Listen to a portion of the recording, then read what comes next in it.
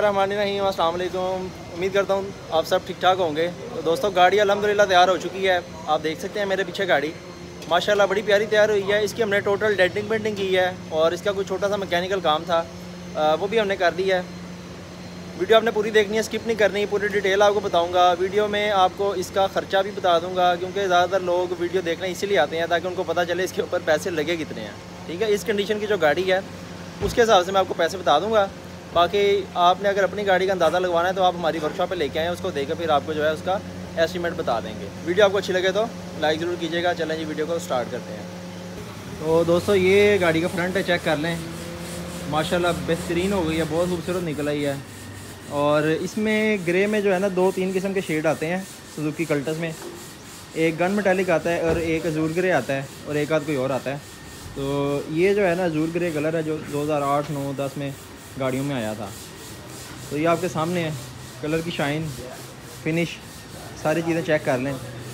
इसमें इसके front back bumper change किए थे हमने और फ्रंट ग्रिल चेंज की थी। बाकी लाइट्स वगैरह इसकी अपनी हैं। उनको हमने सिर्फ़ बफ़ किया। क्योंकि पहले बहुत ज़्यादा पीली हो चुकी थी और बफ़ कर रहे थे। साफ़ सुथरी निकल आई है, माशाल्लाह। ठीक है जी चेक कर लें। फ्रंट चेक करें। आपको नज़दीक से भी दिखा देता हूँ। इसमें जिस तरह ओरिजिनल का जाला आता है, उस तरह वो जाला भी इसके अंदर बना दिया। फिर आप ये साइड से इसकी देख लें राइट साइड राइट साइड से आपको मैं दिखा दूँ तो ये चेक करें। कलर चेक करें एक जैसा सारा। दरवाज़ों के गोले पहले हमने ब्लैक किए थे, फिर ऑनर आए, उन्होंने डिमांड की कि इसको कलर कर दें। तो फिर हमने दरवाज़ों के गोले भी कलर कर दिए। इसी तरह इसके साइड में जो ये भी पहले ब्लैक थे। फिर बाद में ये ऑन डिमांड जो है इसको ग्रे कलर में पेंट कर दिया गया। ठीक है जी। इसके व्हील कैप्स वगैरह, ये सारे नहीं लगे हैं। ये पीछे भी देख लें। अंदर से भी आपको दिखाऊँगा, पूरी गाड़ी की जो है वो अंदर से सफ़ाई की गई अच्छी तरह से। पूरी गाड़ी खुलवा के इसको पूरा अंदर से वॉश करवाया ये छत देख लें ऊपर से आप। और ये इसकी बैक साइड आ गई। आपको इसकी ग्राउंड चेक करवाता हूँ। ये देखें। ठीक है, इसमें आपको प्योर जो है ना, इसकी चमक नज़र आ रही होगी फिनिश नज़र आ रही होगी। आपको अंदाज़ा हो जाएगा। बाकी आपको बैग से अब दिखा दूँ। तो ये इसकी बैक लुक है। और ये इसके मोनोग्राम वगैरह भी नए लग गए हैं। ये देख लें। ठीक है। बिल्कुल अपनी जगह पे जहाँ पे होते हैं इसके जानवर उसी जगह पे लगा देंगे। बाकी एक ये लाइट थोड़ी सी इसकी ख़राब थी। इसको वॉश कर दिया था। और ये इसकी लेफ़्ट साइड चेक कर लें जी। लेफ़्ट साइड भी सेम उसी तरह से, माशाल्लाह खूबसूरत बन गई है। कमेंट्स में आपने ज़रूर बताना है कि गाड़ी कैसी तैयार हुई है। ये देख लें, ये लेफ़्ट साइड चेक करें और कमेंट्स में अपनी राय का इजहार ज़रूर कीजिएगा। इस तरह से जो है ना, हमने सारी गाड़ी तैयार कर ली है। अभी आपको अंदर से मैं दिखाता हूँ इसका। ये अंदर से चेक करें। इंटीरियर चेक करें इसका। जैसे नई गाड़ी का होता है ना, लिश्कारे मार रहा है पूरा।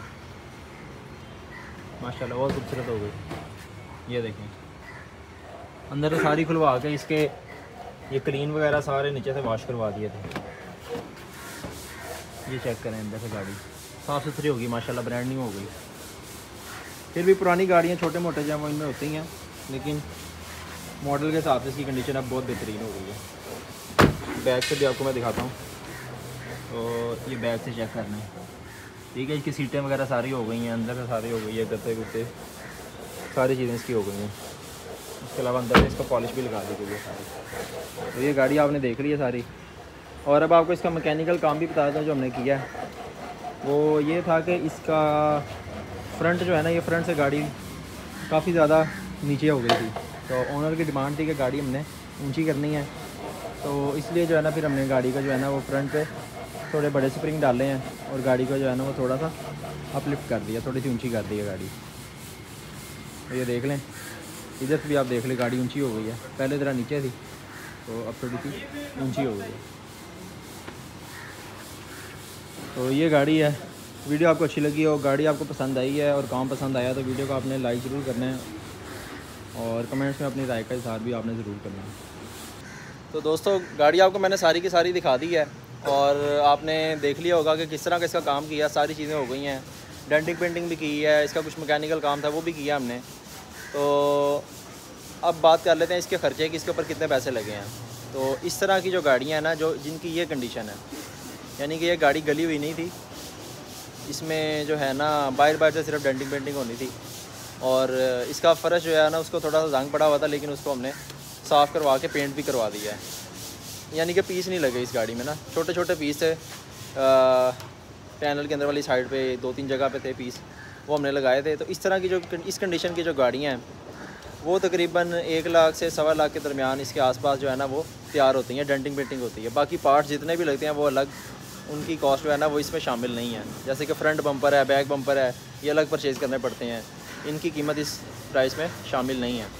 यहाँ और भी जितने भी पार्ट्स आते हैं वो इससे अलग आते हैं। ठीक है? उम्मीद करता हूँ आपको मेरी बात समझ आ गई होगी। अगर आपने अपनी गाड़ी तैयार करवानी है और अच्छे मटेरियल के साथ तैयार करवानी है, ये जो हमने पेंट लगाया है, इसके ऊपर ये इंपोर्टेड पेंट होता है। लोकल पेंट नहीं होता हमारा।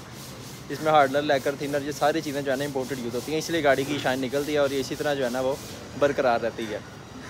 तो अगर आपने तैयार करवानी है अपनी गाड़ी तो आप हमारी वर्कशॉप पर विज़िट कर सकते हैं। Ashraf auto engineers J road Lahore phone number आपकी स्क्रीन पर नज़र आ रहा होगा। इस नंबर पर आप हमारे साथ कॉन्टैक्ट कर सकते हैं। हमारे पास डेंटिंग पेंटिंग और मैकेनिकल काम किए जाते हैं गाड़ियों के।